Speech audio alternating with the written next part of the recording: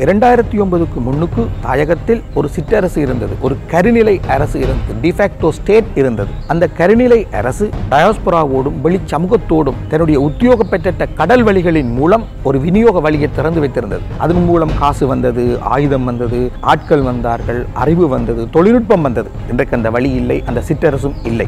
கடந்த பதினோரு ஆண்டுகளில் தமிழ் புலம்பெயர்ந்த சமூகத்திடம் இருந்து கணிசமான அளவு உதவி உளவியல் ரீதியான உதவி நிதி ரீதியான உதவி knowledge ஷேரிங் இப்படி பலதரப்பட்ட உதவிகள் தாயகத்தை நோக்கி வந்திருக்கின்றன. இவை யாவும் அவற்றுக்குரிய இலக்கை அடைந்தனவா என்ற கேள்வி இன்று முக்கியம். இந்த உதவிகளினால் ஓரளவுக்கு போரினால் முறிக்கப்பட்டிருந்த சமூகத்தை நிமித்தக்கூடியதாக இருந்தது. ஆனால் அதற்கு அடுத்த கட்டமாக நீதியே பெறும் போராட்டத்தில் நாங்கள் எவ்வளவு தூரம் முன்னேறி இருக்கிறோம் டயோஸ்போராவே முதலாவது தலைமுறையிடம் காணப்படுகிற அதே கொதிப்பு இரண்டாம் தலைமுறையிடம் இருக்காது. டயோஸ்போராவில் இருக்கிற முதல் தலைமுறை அழைத்து சோர்ந்து வயதாகி போனால் அடுத்தடுத்த தலைமுறை முதல் தலைமுறை போல அந்த நொஸ்டாலிஜியாவோட அந்த பிரிவக்கத்தோட தாயகத்தை அணுகாது.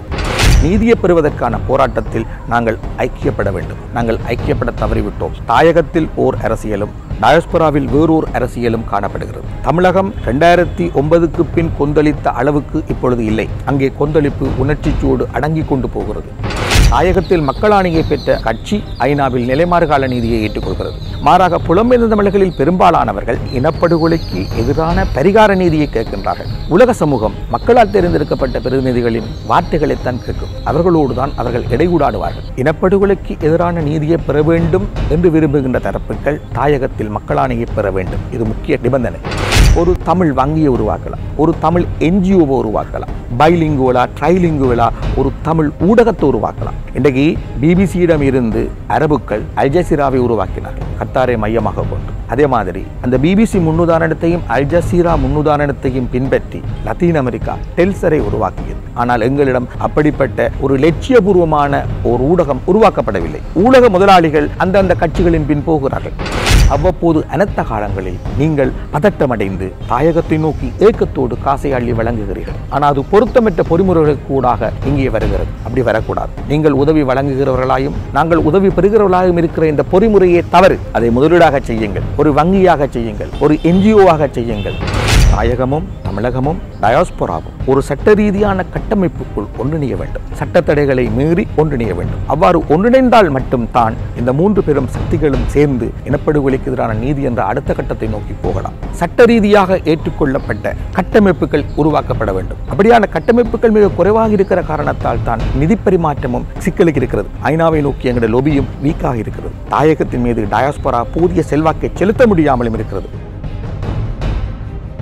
மே பதினெட்டு என்பது ஒரு கூட்டு துக்கத்தை நினைவு கூறும் நாள். நாங்கள் ஒரு கூட்டு துக்கத்தை அனுஷ்டிக்கிறோம் என்று சொன்னால் அதன் அர்த்தம் அன்றைக்கு நாங்கள் அழப்போகிறோம் என்பது அல்ல. அழுது முடிஞ்சுது. இந்த கூட்டு துக்கத்தை ஒரு கூட்டு ஆவேசமாக ஒரு கூட்டு ஆக்க சக்தியாக ஒரு கன்ஸ்ட்ரக்டிவ் ஃபோர்ஸாக நாங்கள் மாற்ற வேண்டும். அப்படி மாற்றினால்தான் நாங்கள் இனப்படுகொலைக்கு எதிரான நீதியை பெற முடியும். இனப்படுகொலையை நினைவு கூர்வது என்பது இனப்படுகொலைக்கு எதிரான நீதியை பெறும் ஒரு போராட்டத்தின் பிரிக்கப்பட முடியாத ஒரு பகுதி என்பதன் அடிப்படையில் தான் நாங்கள் எனப்படுவோரையை நினைவு கூற வேண்டும். எனவே நீதியை பெறுவதற்கான போராட்டத்தில் நாங்கள் ஐக்கியப்பட வேண்டும். ஆனால் கடந்த பதினோரு ஆண்டு காலத்தையும் நாங்கள் எடுத்து தொகுத்து பகுத்து பார்ப்போமாக இருந்தால் நாங்கள் ஐக்கியப்பட தவறிவிட்டோம். தாயகத்தில் ஓர் அரசியலும் டயஸ்பராவில் வேறோர் அரசியலும் காணப்படுகிறது. தமிழகம் ரெண்டாயிரத்தி ஒன்பதுக்கு பின் கொந்தளித்த அளவுக்கு இப்பொழுது இல்லை. அங்கே கொந்தளிப்பு உணர்ச்சிச்சூடு அடங்கி கொண்டு போகிறது. அப்ப இன்றைக்கு தமிழ் மக்கள் மத்தியில் வெவ்வேறு நோக்கு நிலைகள் காணப்படுகின்றன.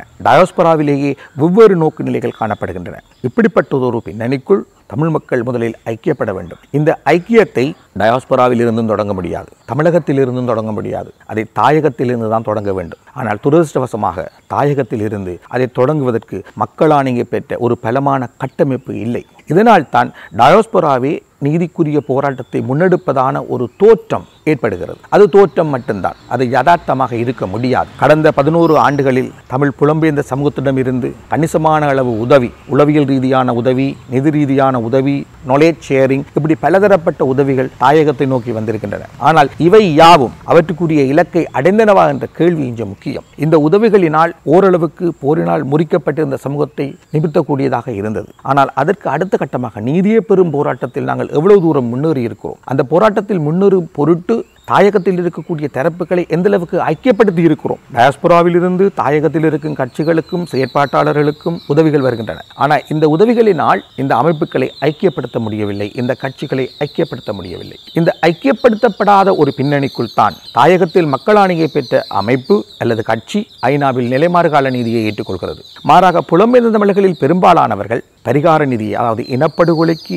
எதிரான பரிகார நீதியை கேட்கின்றார்கள். ஆனால் உலக சமூகம் மக்களால் தேர்ந்தெடுக்கப்பட்ட பிரதிநிதிகளின் வார்த்தைகளைத்தான் கேட்கும். அவர்களோடு தான் அவர்கள் இடையூடாடுவார்கள் அப்ப இந்த பிளவு தொடர்ந்தும் இருக்குது. தாயகத்துக்கும் டயாஸ்போராவுக்கும் இடையில் உள்ள இந்த பிளவு. டயாஸ்போராவுக்குள்ளேயும் கூட நிலைமாறு கால நீதியை ஏற்றுக்கொள்பவர்கள் பரிகார நீதியை ஏற்றுக்கொள்பவர்கள் என்று பிளவுகள் வந்துவிட்டன. இந்த பின்னணிக்குள் அதாவது தமிழ் மக்கள் இப்படி தொடர்ந்தும் பிளந்து போகிற ஒரு நிலைமை இருக்குமாக இருந்தால் நாங்கள் இனப்படுகொலைக்கு எதிரான நீதியை பெற முடியாது. எனவே நாங்கள் முதலில் என்ன செய்ய வேண்டும் என்று சொன்னால் இனப்படுகொலைக்கு எதிரான நீதியை பெற வேண்டும் என்று விரும்புகின்ற தரப்புகள் தாயகத்தில் மக்களாணையை பெற வேண்டும். இது முக்கிய நிபந்தனை. இரண்டாவது தாயகத்துக்கும் டயாஸ்போராவுக்கும் இடையில் தமிழகத்துக்கும் இடையில் கூட சட்ட ரீதியாக ஏற்றுக்கொள்ளப்பட்ட கட்டமைப்புகள் உருவாக்கப்பட வேண்டும். நாங்கள் ஒன்றை மறந்து போகிறோம் ஒன்றை கவனிக்க தவறுகிறோம். இரண்டாயிரத்தி ஒன்பதுக்கு முன்னுக்கு தாயகத்தில் ஒரு சிற்றரசு இருந்தது. ஒரு கருநிலை அரசு இருந்தது. டிஃபேக்டோ ஸ்டேட் இருந்தது. அந்த கருநிலை அரசு டயாஸ்போராவோடும் வெளி சமூகத்தோடும் தன்னுடைய உத்தியோக பெற்ற கடல் வழிகளின் மூலம் ஒரு விநியோக வழியை திறந்து வைத்திருந்தது. அதன் மூலம் காசு வந்தது ஆயுதம் வந்தது ஆட்கள் வந்தார்கள் அறிவு வந்தது தொழில்நுட்பம் வந்தது. இன்றைக்கு அந்த வழி இல்லை அந்த சிற்றரசும் இல்லை. மறுவளமாக அந்த சிற்றரசு தோற்கடிக்கப்பட்ட பின் பெரும்பாலான புலம்பெயர் சமூகங்களில் வாழும் அமைப்புகள் அந்த சிற்றரசின் தொடர்ச்சிகளாகவே சிந்திக்கின்றன. அவர்கள் அவ்வாறு சிந்திப்பதனால் சட்ட ரீதியாக தாயகத்தில் செயற்பட முடியாதவர்களாக காணப்படுகிறார்கள். அவருடைய சொந்த நாடுகளில் கூட அவர் செயற்படுவதில் அவர்களுக்கு வரையறைகள் உண்டு.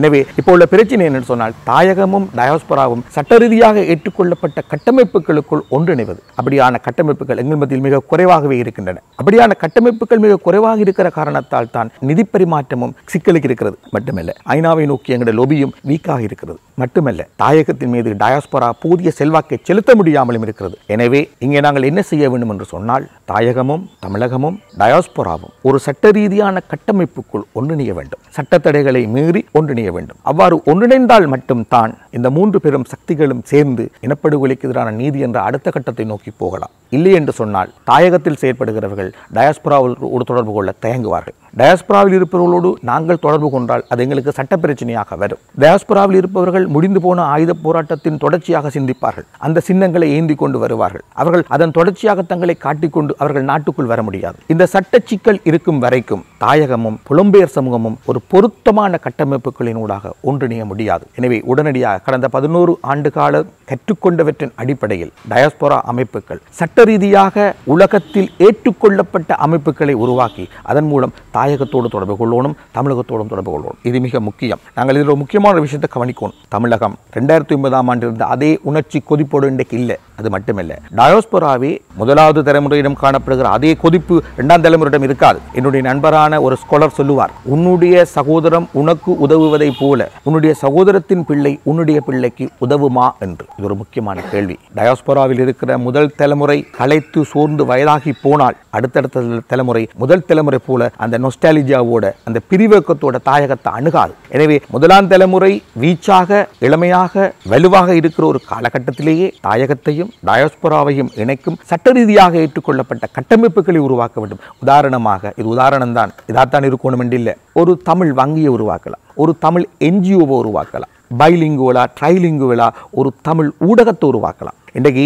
பிபிசியிடம் இருந்து அரபுக்கள் அல்ஜசீராவை உருவாக்கினார்கள் கத்தாரை மையமாக கொண்டு. அதே மாதிரி அந்த பிபிசி முன்னுதாரணத்தையும் அல்ஜசீரா முன்னுதாரணத்தையும் பின்பற்றி லத்தீன் அமெரிக்கா டெல்சரை உருவாக்கியது. ஆனால் எங்களிடம் அப்படிப்பட்ட ஒரு லட்சியபூர்வமான ஒரு ஊடகம் உருவாக்கப்படவில்லை. ஊடக முதலாளிகள் அந்தந்த கட்சிகளின் பின் போகிறார்கள். எனவே இந்த நிலைமையை மாற்ற வேண்டும். அதாவது டயோஸ்போராவில் இருக்கிற நிதி பொருத்தமான இடங்களில் முதலீடு செய்யப்பட வேண்டும். டயோஸ்போராவில் இருப்பவர்கள் அங்கே இருந்து கொண்டு எங்களை பார்ப்பதை விடவும் அங்கத்த யதார்த்தத்துக்கு ஏற்ற மாதிரி முடிவுகளை எடுக்க வேண்டும். பலர் அங்கே இருந்து கொண்டு அதாவது புலம்பெயர்ந்த சமூக பரப்பில் இருந்து கொண்டு தாயகத்தை பிரிவேக்கத்தோடு பார்க்கிறார்கள். இல்லை பிரிவேக்கத்தோடு பார்ப்பதற்கு பதிலாக ரியலிஸ்டிக்காக அணுக வேண்டும்.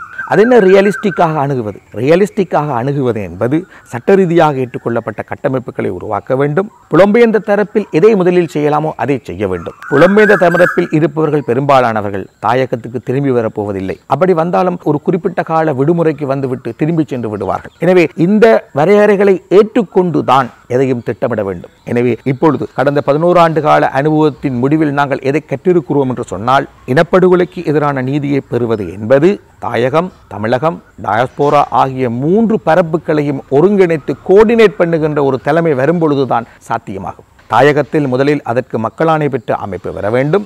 இரண்டாவதாக அந்த அமைப்பு தமிழகத்தையும் டயோஸ்பராவையும் ஒரு சேர இயக்கக்கூடிய விதத்தில் சட்ட ரீதியாக ஏற்றுக்கொள்ளப்பட்ட கட்டமைப்புகள் உருவாக்கப்பட வேண்டும். இல்லையென்றால் கோவிட் பத்தொன்பதுக்காக டயஸ்பொராவில் இருந்து வந்த கோடிக்கணக்கான காசை போலவே திரும்ப திரும்ப அனர்த்த காலங்களில் அங்கிருந்து நீங்கள் அனுப்புகின்ற காசு பொருத்தமான இடங்களை சென்றடையாத ஒரு நிலைமை வரலாம். அதற்கு பொருத்தமான ஒரு பொறிமுறை வேண்டும். அந்த பொறிமுறை கூடாக அது மக்களை சென்றடையுமாக இருந்தால் இன்றைக்கு தமிழ் மக்களின் பொருளாதாரம் எங்கேயோ போயிருக்கும். தாயகத்தில் எவ்வளவோ முதலீடுகளை செய்திருந்திருக்கலாம். ஆனால் அவ்வாறு எதுவும் செய்யப்படவில்லை. இதுக்கு காரணம் பொருத்தமான பொறிமுறை இல்லை. அவ்வப்போது அனைத்த காலங்களில் நீங்கள் பதட்டமடைந்து தாயகத்தை நோக்கி ஏக்கத்தோடு காசை அள்ளி வழங்குகிறீர்கள். ஆனால் அது பொருத்தமற்ற பொறிமுறைகளுக்கு கூடாக இங்கே வருகிறது. அப்படி வரக்கூடாது. நீங்கள் உதவி வழங்குகிறவர்களாயும் நாங்கள் உதவி பெறுகிறவர்களாயும் இருக்கிற இந்த பொறிமுறையே தவறு. அதை முதலீடாக செய்யுங்கள் ஒரு வங்கியாக செய்யுங்கள் ஒரு என்ஜிஓவாக செய்யுங்கள். எனவே உலக சமூகத்தால் ஏற்றுக்கொள்ளப்பட்ட சட்ட ரீதியிலான கட்டமைப்புகளை ஏற்படுத்துங்கள் அவசரமாக ஏற்படுத்துங்கள். ஏனென்றால் தமிழகத்தில் அந்த கொதிநிலை அடங்கி கொண்டு போகிறது உங்கள் மத்தியிலும் கூட ஒரு தலைமுறைக்கு வயதாகி கொண்டு போகிறது. எனவே அவசரமாக தாயகம் தமிழகம் டயஸ்பொரா ஆகிய மூன்று பரப்புகளும் ஒன்றிணையத்தக்க சட்ட ரீதியாக ஏற்றுக்கொள்ளப்பட்ட கட்டமைப்புகளை உருவாக்குங்கள். இந்த நினைவு கூறுதல் நாளில் அவ்வாறான கட்டமைப்புகளை உடனடியாக உருவாக்குவோம் என்று சபதம் எடுத்துக்கொள்வோம் கொள்வோமாக. நன்றி.